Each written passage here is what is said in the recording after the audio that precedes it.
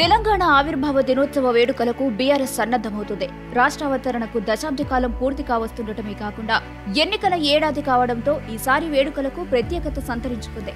దానికి తగ్గట్టుగా జూన్ రెండున ఘనంగా నిర్వహించేందుకు అధికార పార్టీ సన్నాహాలు చేస్తోంది. ఆడంబరంగా జరిపే ప్రయత్నంలో ఉంది. పార్టీ అధినేత నుంచి కింద స్థాయి కార్యకర్తల వరకు ఈసారి తెలంగాణ వేడుకలను ప్రతిష్టాత్మకంగా తీసుకునే దిశలో సాగుతుంది. అటు అధికారికంగా ఇటు పార్టీ పరంగా పెద్ద స్థాయిలో నిర్వహించేందుకు కసరత్తులు మొదలుపెట్టింది. తెలంగాణ ఆవిర్భావం తర్వాత సాధించిన విజయాలను ప్రజలందరి దృష్టికి తీసుకెళ్ళే లక్ష్యంగా కేబినెట్లో నిర్ణయించారు.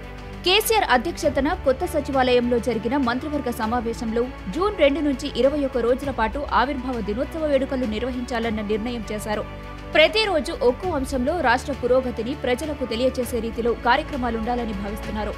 బీఆర్ఎస్ ఎల్పీ సమావేశంలో కూడా తెలంగాణ నిండుగా పదేళ్ళ పండుగ సాగాలని తీర్మానం చేశారు.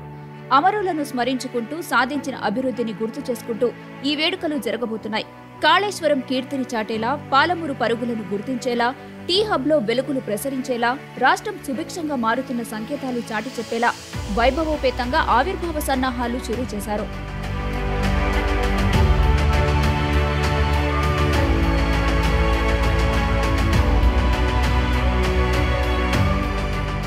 ఇక కేబినెట్ భేటీలో కీలక నిర్ణయాలు కూడా తీసుకున్నారు. ట్రిపుల్ వన్ జీవో రద్దు వీఆర్ఏల రెగ్యులరైజేషన్ వంటి నిర్ణయాలతో పాటుగా కులవృత్తులకు చేయూత కింద లక్ష రూపాయల చొప్పున అందించే పథకానికి శ్రీకారం చుట్టబోతున్నట్టు ప్రకటించారు.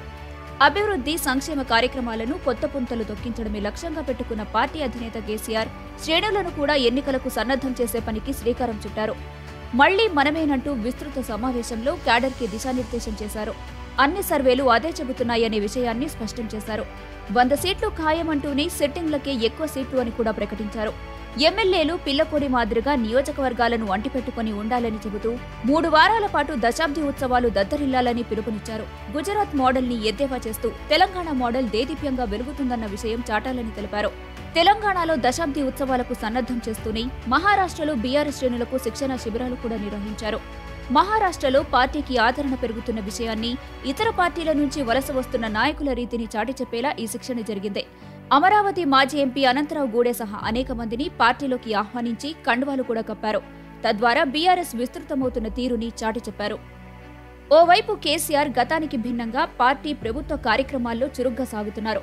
మంత్రులు ఇతర కీలక నేతలు కూడా పార్టీ కార్యక్రమాల దూకుడు పెంచారు. అధినేత గేర్ మార్చడంతో అందరూ అనివార్యంగా అదే బాట పట్టాల్సి వస్తుంది. దాంతో వాడవాడలా బీఆర్ఎస్ దూకుడు పెరుగుతుంది. అదే సమయంలో మంత్రి కేటీఆర్ విదేశాల్లో తెలంగాణ ప్రతిష్టను పెంచే ప్రయత్నంలో సాగుతున్నారు. వరుసగా లండన్ వాషింగ్టన్ నగరాల్లో పర్యటనలు చేస్తున్నారు. వేలాదిగా పెట్టుబడులకు ప్రయత్నిస్తున్నారు.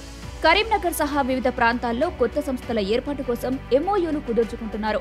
దాంతో బీఆర్ఎస్ పార్టీ ప్రభుత్వ కార్యకలాపాలతో తెలంగాణ సందడిగా మారింది. కర్ణాటక ఎన్నికల ఫలితాలు వెలువడటంతో మారిన రాజకీయ పరిస్థితులకు అనుగుణంగా బీఆర్ఎస్ ముందడుగు వేస్తుంది.